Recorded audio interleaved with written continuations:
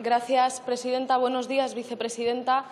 Le pregunto por qué rechaza a su Gobierno el diálogo, por qué rechazan sentarse en una mesa con el Gobierno de la Generalitat y pactar las condiciones de una mediación. Muchas gracias. Muchas gracias. Señora vicepresidenta. Señora Montero, acaba de oír de la mano del Grupo Socialista y del Gobierno, respaldado por el Grupo Parlamentario Popular, cuál es nuestro marco del diálogo. A mí me gustaría recordarle algunas cosas. Que el Gobierno de la Generalitat ha dividido la sociedad catalana, que el Gobierno de la Generalitat ha silenciado a los partidos de la oposición, incluso a los suyos hasta hace unos días, que ha generado zozobra económica y, además, ruptura de la cohesión social, y que, pudiendo haber encontrado en esta casa un marco de diálogo, nunca vino. Yo creo, señora Montero, que no caben mediaciones entre la democracia y la imposición entre la ley y la desobediencia y, si cabe, entenderse en igualdad de condiciones en esta casa, donde el diálogo se practica cada día, aunque algunos no lo sepan verlo.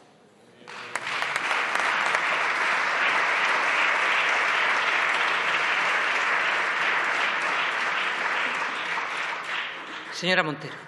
Gracias, presidenta. Yo creo, señora vicepresidenta, que es incomprensible que ustedes rechacen el diálogo, incluso cuando ayer el presidente Puigdemont no declaró la independencia. Nadie en España lo entiende. Y corremos el riesgo, y a la vista está la escenificación de hoy, de que ustedes escalen el conflicto, no aporten soluciones y sigan envolviéndose y sacando la bandera de España porque dicen defender a este país. Pero es que yo a ustedes solo les he visto sacar la bandera de España cuando iban contra los derechos de las personas LGTBI, para luchar contra el aborto. Pero nunca les he visto, nunca les he he visto sacar la bandera de España para defender a las personas desahuciadas o para decir que no a los recortes en sanidad y en educación. Y parece que ustedes solamente usan la bandera de España para humillar al que piensa diferente a ustedes y para humillar al que tienen enfrente. Y creo que la bandera de España, la nuestra, la de todos los españoles y las españolas, debe ser un símbolo de la fraternidad entre los pueblos y los ciudadanos y las ciudadanas de este país y no un símbolo de confrontación o para humillar al que tiene enfrente. Por eso le pido, por favor, le reitero la propuesta que le estamos haciendo. Prueben con lo único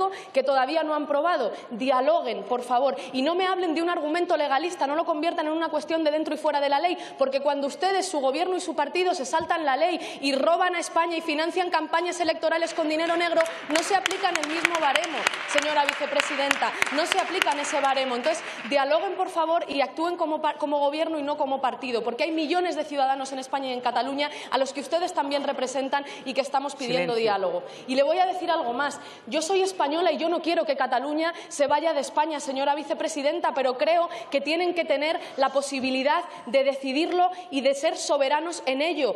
Quiero mandar un mensaje de tranquilidad y de esperanza a miles de ciudadanos que están preocupados en este momento. Hay solución y la solución es un referéndum pactado y con garantías. Señora vicepresidenta, ustedes lo saben. No se me ocurre, señora vicepresidenta, propuesta más valiente, más firme y más contundente en este momento de crisis de Estado que escuchar y dialogar. Muchísimas gracias.